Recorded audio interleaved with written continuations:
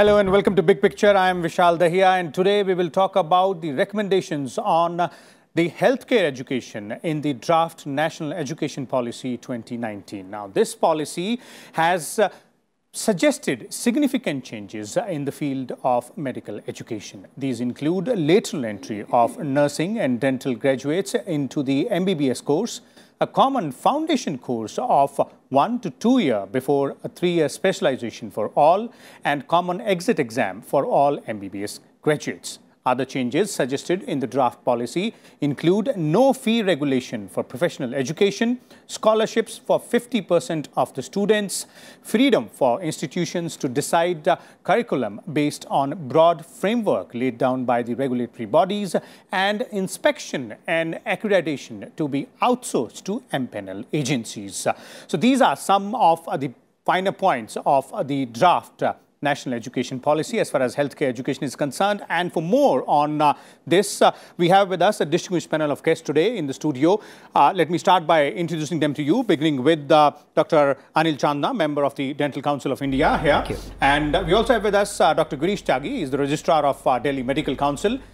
we also have with us Dr. Achal Srivastava, he is professor in Department of Neurology in AIIMS uh, here in Delhi. And we're also joined by Ms. Jayakumari Chikkala. She's a former nursing superintendent uh, from uh, RML Hospital.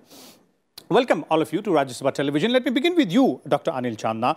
Uh, quite a significant, uh, you know, uh, recommendation when it comes to the dentists. And you being the representative of the Dental Council of India, what would you have to say on the lateral entry aspect of these recommendations? Actually, we have already sent it to the government. The name was a bridge course. Now we have another name is a lateral entry mm -hmm. to the MBBS courses. Actually, there are three points. Okay. There is a shortage of uh, medical practitioner or the doctors in the rural areas. So we can provide the doctors to the rural areas. Because if you see our first two years or a three years courses, LB, we covered the all medical basic sciences like anatomy, physiology, pharmacology. Mm -hmm. So we know these subjects. We have introduced and we have proposed it. If we go for a three-year course as a bridge course, then the dental surgeon can be equivalent to the MBBS courses. Mm -hmm. And in the villages, he can provide, you know, the dual services. That's what the uh, draft NEP's recommendation is. Yeah. Mm -hmm. I mean, the dental and the medical. Mm -hmm. So the both, the one person can serve two purposes. So it's the benefit to the government, benefit to the dental surgeon because we are producing large number of you know dental surgeons. We almost have a 310 dental colleges. So the job orientation mm -hmm. and the job problem will be solved. So the dentist will go at the rural area, they'll give a dental facility, they'll give a medical facility, and they have, as far as the knowledge is concerned, they are at par with the medical. Okay, and, and, and sim similar is the case uh, with the uh, nursing students as well, uh, as per the draft NEP. Let me bring in uh, Ms. Uh, Chikkala here. Ms. Chikkala, uh, you know, the nursing students also will have, as per the draft NEP 2019, will also have the opportunity for a lateral entry, entry into the MBBS course. so is that something which is pretty much required from the nursing students' perspective as well? Yes, sir. But nursing is honorable job, but it is also preferable for the student, those who are interested, to go for the, this lateral entry profession, mm -hmm. professional course. Okay. And, and what are the benefits you believe? According their interests.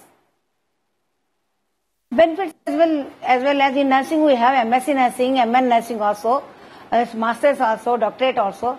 But still somebody uh, uh, prefer to, they don't want to do hard work, bedside nursing, grassroots level, afterwards bedside nursing.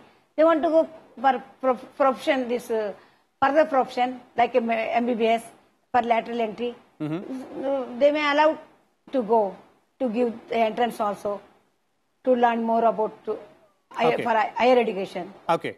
Okay, so it will be beneficial to the nursing students as well. Let me bring in uh, Dr. Girish Tyagi. Yeah, yeah, yeah, yes, sir, uh, yes, sir. Dr. Tyagi, uh, you know, uh, these two aspects. one is uh, giving an opportunity to the students uh, who are studying, uh, you know, uh, dental surgery or uh, nursing courses, uh, the lateral entry aspect of it. Uh, uh, how do you look at that? Would that uh, be uh, beneficial uh, or, or do you have uh, the other point of view?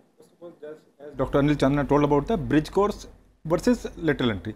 First of all, bridge course was that after doing the person has completed his BDS course, then he was allowed to do the practice of medicine after say few months of training.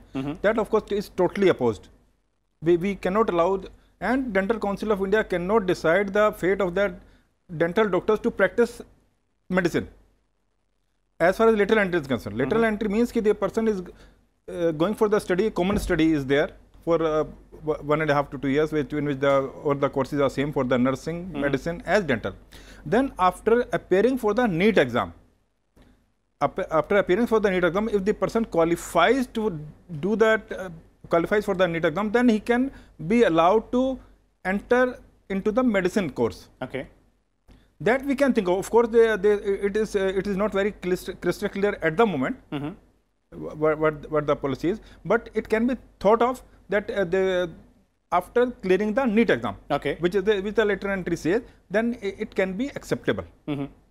So, so you, you're saying that it is acceptable, but more, uh, you know, it'll have to be refined a bit further more, yeah. and uh, uh, it will have to have those checks and balances Yeah, yeah. well. Because suppose uh, uh, initially when the MBBS uh, got into the NEET exam after getting the ad- a- a- admission at the MBBS level and the nursing or the BDS course, say after just uh, whether they are not going for that uh, completion of the course and appearing for the NEET exam and uh, just uh, only on the basis of the theoretical exam Okay.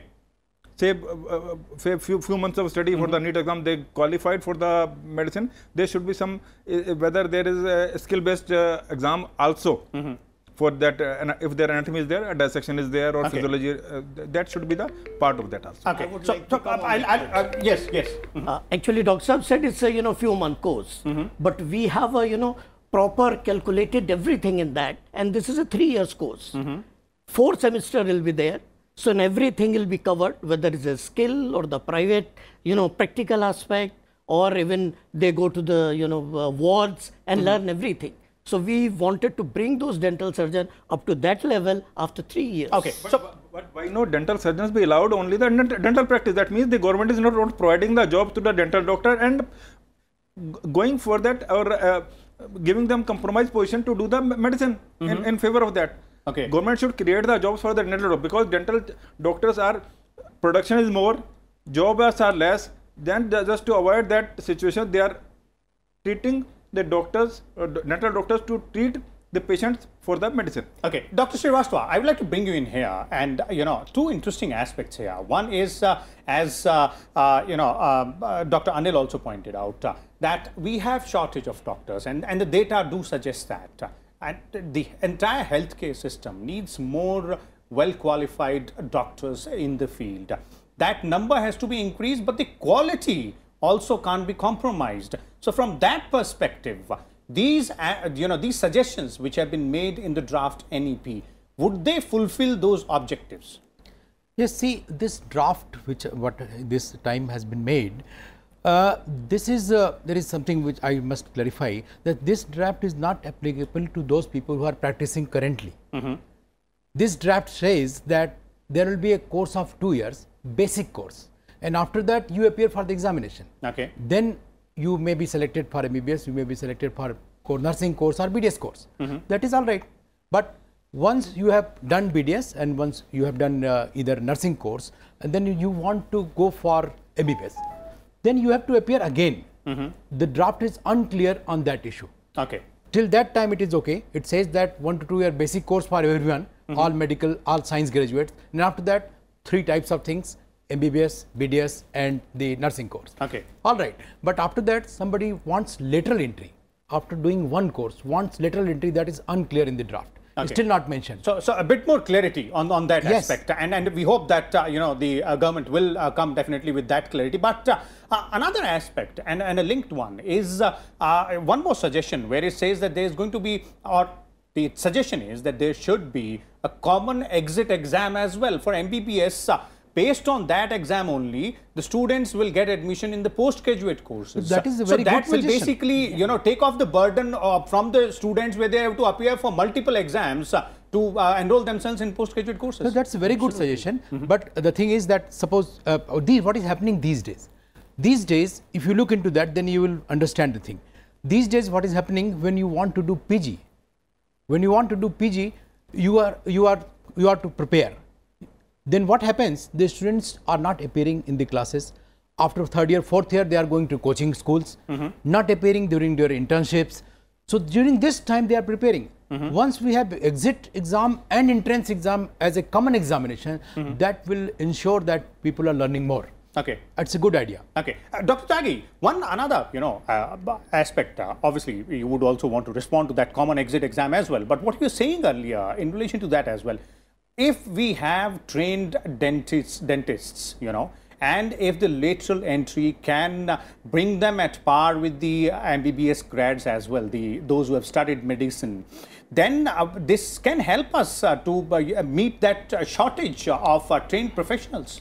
First of all, regarding that shortage, why the people, why the poor people living at the remote place, remote place, be allowed to take the compromised medical care? Mm -hmm.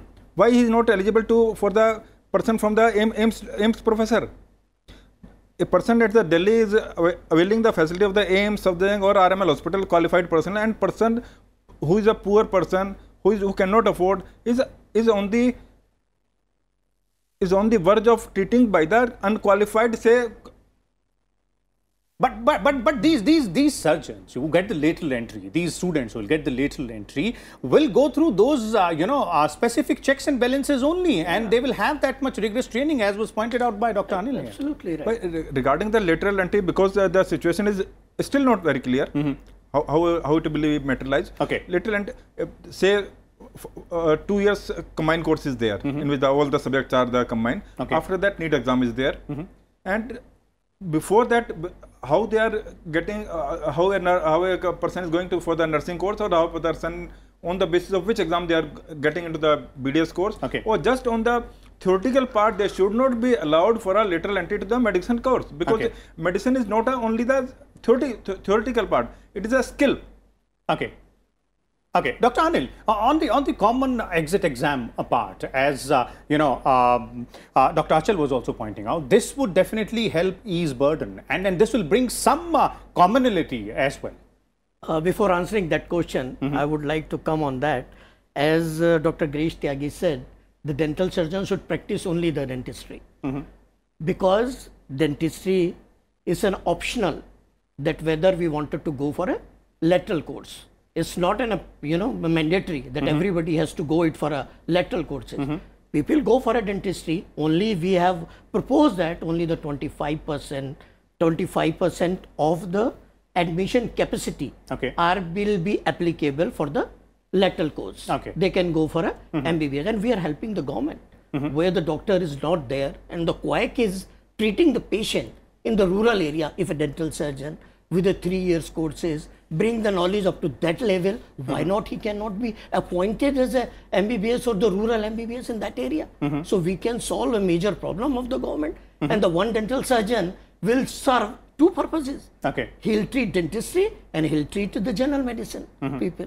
So it both ways is beneficial to the government. Okay, and, and the and the common exit exam. Co- That is absolutely right. I mean, I'll totally, you know, in favor of that. That Okay. the exit exam, entry exam, and exit exam should be there. They, they even for the dental surgeon. Okay, uh, uh, let me bring in Ms. Chikkala here. Ms. Chikkala, from the nursing students' perspective as well, uh, you know, uh, uh, both these aspects, uh, if you look at uh, uh, the lateral entry uh, aspect or the common uh, exit exam also, the quality of the education has to be maintained as, uh, you know, uh, all the doctors sitting here also pointing out, uh, to ensure that whosoever takes that lateral entry uh, route uh, does meet those quality standards uh, while studying medicine.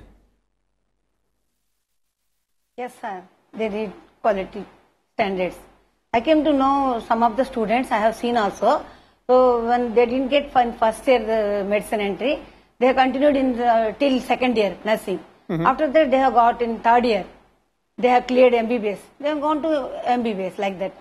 So if students are willing to go, if they are, uh, there is one problem is there, where there is, where there is no doctor, sister is there, always 24 hours available. If they want to learn, if they want to improve their uh, say education, uh, if they want to help for patients, health management also, they can go.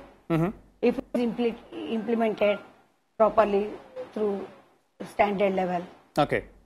Okay. Uh, uh, uh, Dr. Srivastava, let's come into uh, another aspect. And, and all these things are interrelated as well. You know, all of you, while uh, responding to the lateral entry aspect, uh, were significantly pointing out that the quality of the education imparted in the medicine stream should be maintained. There should be proper checks and balances. So, if you look at in that perspective, and even the draft NEP 2019 also starts with that only, that the quality of the healthcare education has to be further improved. So the other two, three suggestions which are there, for example, giving freedom to the institutions to go ahead and form their own curriculum, uh, you know, uh, under the broad guidelines which have been provided by the regulatory agencies, and not having a cap on the fee for these professional courses. How will this impact?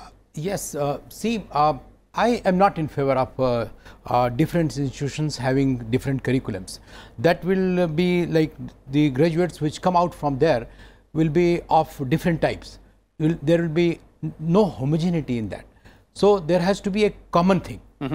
And in that sense, MCI has been doing good work, I will say, or the current board of governors, they have been doing good job. Uh, the other thing which you talked about was uh, regarding The cap, the cap, there, there, there will be no cap on the fees. Fee. That is also very dicey. See what was happening earlier than the current uh, uh, the existing currently existing guidelines. These Mm-hmm. days they have a cap on the fee. So previously there was no cap. So some people were paying 65 lakhs to 1 crore. There is a cap now. In like if I talk of Uttar Pradesh, Mm-hmm. there is a cap of somewhere 11, 12 or something lakh rupees Mm-hmm. in a year. So that is helping many people. Okay. So if you have you don't- don't if you don't have a cap, then what the institution will do will have 10 seats for 10 lakh rupees and after that 65 rup- lakh rupees 1 crore rupees since there is no cap. So I don't agree with this. Okay. Uh, Dr. Tyagi, Yeah, you- on, on both aspects. Yeah, as Dr. Shastra told about, curriculum should be same. Okay. Because uh, otherwise, different institutions will frame their own curriculum to suit them. Mm-hmm. Because the, in anatomy says uh, the, the dissection is required. They will keep only two bodies, whether uh, on two bodies, how many persons are operating. So curriculum should be same in all the medical institutions. That should not be uh, left to the liberty of the institution. It should be made by the whatever the authority may be. Okay. The regulatory And authority should decide. regulatory should decide the curriculum and should be applicable to the, all the institutions providing the medical education. Okay. Then, of course, the fee structure as told, I also agree with him that fee structure should be capped. There should not be, otherwise, the, the, the situation that the poor people, poor deserving people will not get admission. Only the. No, but but the draft policy also says that there will be there, there should be 50 percent uh, you know scholarship for 50 percent of the students. So I believe uh, the poor student, uh, Sir, but the sir, poor section will sir, be private- economical weaker section will be taken care medical college, you cannot think of that. They will provide the scholarship even. Mm-hmm. They will provide the check, and in, in turn, they will ask the person to pay in cash. Okay. So fee cap should should be ca- capping of the fee should be there. A scholarship, if it is being provided, has to be see to it that they deserve it and they got it. Okay. Okay. Dr. Chandna, on these two aspects. As far as the fee is concerned, I'm totally agreed to- with the other doctors that there should be a cap. Mm-hmm. But this is a you know a state subject. The government actually has decided the fee structure. Mm-hmm. The Dental Council of India is not not in the picture mm-hmm. that how much the fee they have to decide it. But as far as if you see the some of the private colleges are the very good colleges, mm-hmm. they have a very good infrastructure. Mm-hmm. They have invested more. Mm-hmm. So they said we want the more fee. Okay. So that is what it's a you know different scenario in that cases.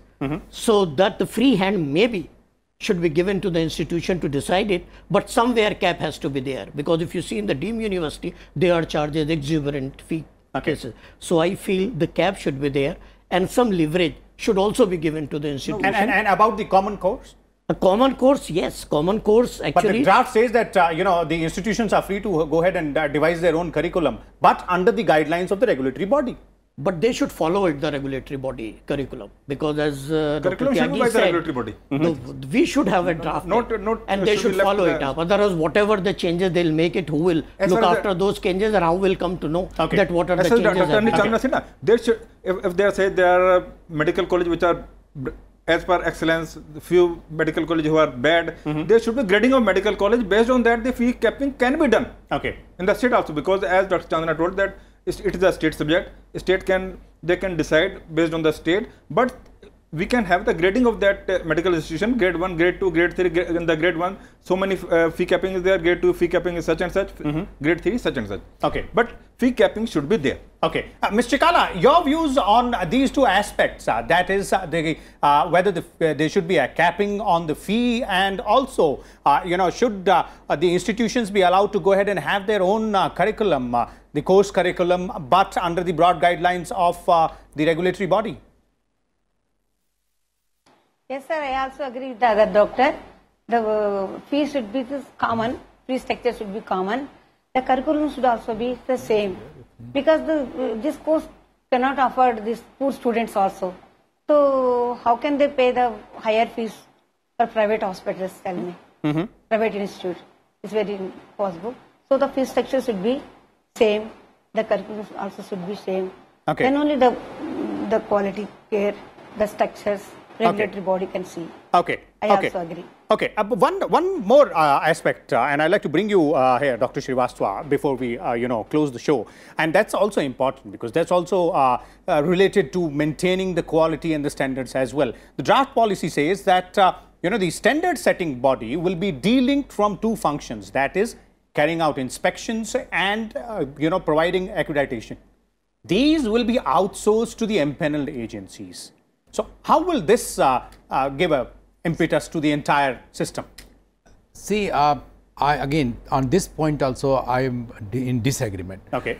See, impaneled bodies uh, again will not have a common uh, type of uh, curriculum. Curriculum again I say here, uh, they will have different viewpoints, and then again this will provo- pro- provoke a non-homogeneity amongst various institutions. Okay. This body went there and another body went there. There are no definite guidelines, so whatever they th- think they will decide.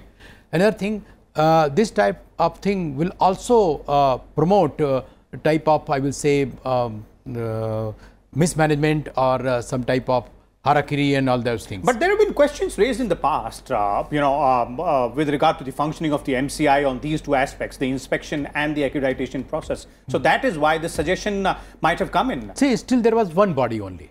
Now you are having go, having going to have 10, 15 bodies. So again, the possibility of corruption is more. Okay. That's what. So I you're saying is out. you can take away the function from the MCI, but Yeah. have just one common body. yes, uh, one common body. Okay. Uh, Dr. Tyagi? Yeah, because the, on the MCA allegation was the corruption in the and basically in the inspection part. Inspection.